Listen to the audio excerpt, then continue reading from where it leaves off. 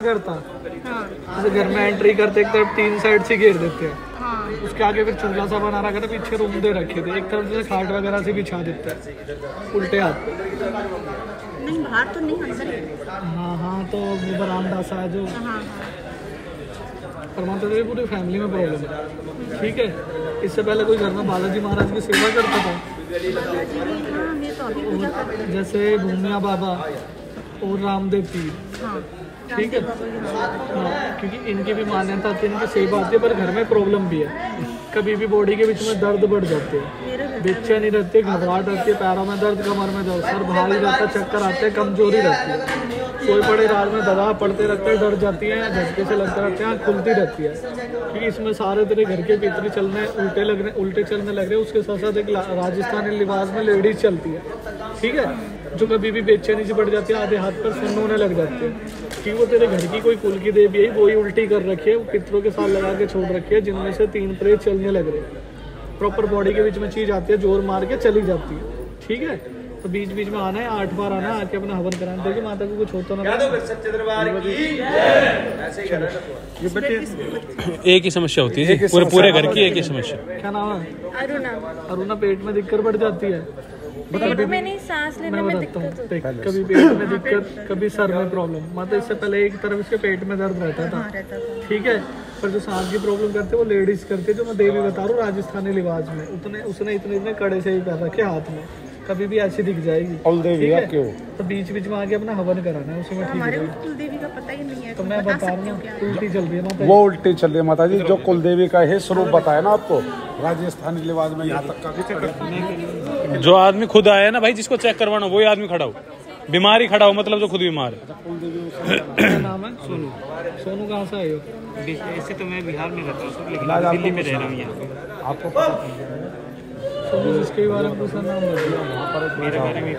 नाम बता है। भाई। आरती देवी मम्मी का नाम पापा का नाम आप आओगे इलाज करवाओगे। वो माता भी सीधी हो जाएगी धीरे धीरे। सोनू देख तुझे भी दिक्कत रहती है मम्मी पापा को भी प्रॉब्लम होती। है ठीक है? बता से दिक्कत नहीं चल। रही पुरानी दिक्कत चलने लगे कम से कम उन्नीस साल पुराने। ठीक है पर जो प्रॉब्लम बढ़ रही है पिछले तीन साल से ज़्यादा बढ़ने लग रही है। तू काम की तरफ़ से भी परेशान रहता है शरीर से भी परेशान रहता। है पेट में दिक्कत बढ़ जाती है खाया भी लगता नहीं है ना पचता ठीक है माइंड हमेशा बंदा बंदा सा रहता है डिप्रेस रहता है नींद बहुत कम आती है बस मन भरता रहता है रोता रोना किसी बोलू ना चाहो क्योंकि इसमें तो दो तेरे घर के भीतर एक महिला प्रेत चलने लगी है वो कम से कम छः साल पुरानी है। उसी वजह से तेरे पेट में दिक्कत ज़्यादातर बढ़ जाती है तो गंदे विचार आते रहते हैं। आठ बार आओ आके अपने हवन बोले का हवन कर। चलो। अपने ग्यारह कोड़े कला ली चल। ये छोड़ दो बुलाते रहो भी पूछ रहे।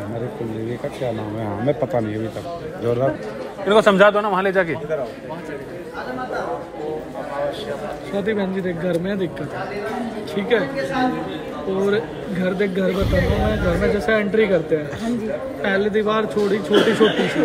ठीक है नीचाई सी में से फिर उसके आगे जीना दे रखा ऊपर। ठीक है पुराने टाइम का घर है तेरा। फिर नीचे ऐसे रूम बना रखे हैं। एक तरफ़ ओपन है इधर जैसे पानी से डालने की बना देते हैं लेफ़्ट साइड ठीक है क्योंकि ये तेरे घर में पुरानी दिक्कत चलने लग रही है जिसके करके हमेशा घर में सुख शांति बहुत कम रहती है। हाँ हाँ छोटी छोटी बातों पर लड़ाई झगड़े बने रहते हैं कभी कोई बीमार कभी कोई बीमार। ठीक है क्योंकि किसी ने क्रिया कर रखी है आज की क्रिया नहीं कर रखी कम से कम पुरानी दिक्कत चल रही है चौदह पंद्रह साल पर जो दिक्कत बढ़ रही है पिछले दो साल से ज़्यादा बढ़ने लगी है। फिर भी एक तरफ़ पैर में कमर में दिक्कत बढ़ जाती है सर भारी होता है बेचैनी सी होती है। ऐसा लगता है बॉडी के बीच में कोई चीज़ आती है आके आते रुक जाती है। ठीक है वो आदमी करेगा जब भी दिखेगा। गलत इसमें तेरे घर के भीतर वो भी सारे उल्टे लगे उल्टे होके चल चलने लग रहे हैं। कम से कम ये चार चीज़ें चलने लग रही है। एक आदमी एक औरत है दो तेरे घर के भीतर बीच बीच में आठ बार आना आके अपना हवन कराना है घर में काम भी बनेंगे घर में सुख शांति भी बनेगी। चलो। चलो। बाबा वो जैसे बीच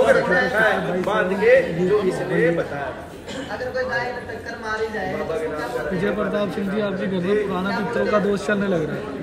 जिसके करके पूरी बॉडी में दर्द रहते हैं। ठीक है जकड़न हो जाती है जॉइंटों में दिक्कत ज़्यादातर से घुटनों में उंगलियों में कंधों में कमर में। कि तुम्हारे पुराने पितर चलने लगे उसके करके बच्चों के बनते बनते सारे काम बिगड़ते रहते हैं घर में गृह कले से लड़ाई झगड़े बने रहते हैं। पता नहीं लगता क्या करना क्या नहीं करना। तो बीच बीच में आगे आठ बार आना आगे अपना हवन कराना दोष चल कम से कम दो, से एक पीढ़ी पुराना ठीक है उसके करके घर में घर का गरबा हो रखा पूरा घर का ऐसे हो रहा है? सब अलग अलग रहते हैं जी हाँ जी देखो उसके लिए तो मैं नहीं कह सकता तो बस दोष है वो पितरों का दोष है वो निकल जाएगा। जय शनिदेव नेक्स्ट बुलाओ क्या नाम भाई? यही है। आप क्या नाम है?